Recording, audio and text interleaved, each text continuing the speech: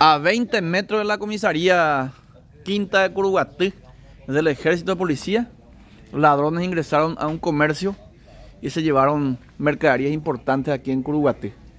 Primero cortaron la energía eléctrica e ingresaron por este sector y forzaron la puerta del costado, ingresaron.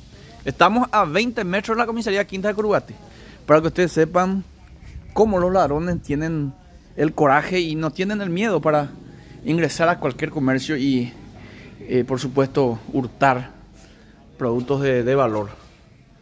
Ingresaron a un comercio muy conocido en la ciudad de Curuguatí y se llevaron importantes mercaderías. Estamos a 20 metros nada más del local de la comisaría. Esta es la comisaría Quinta de Curuguatí. Fíjense ustedes, Comercial Martita es el nombre de este, este comercio de Curuguatí.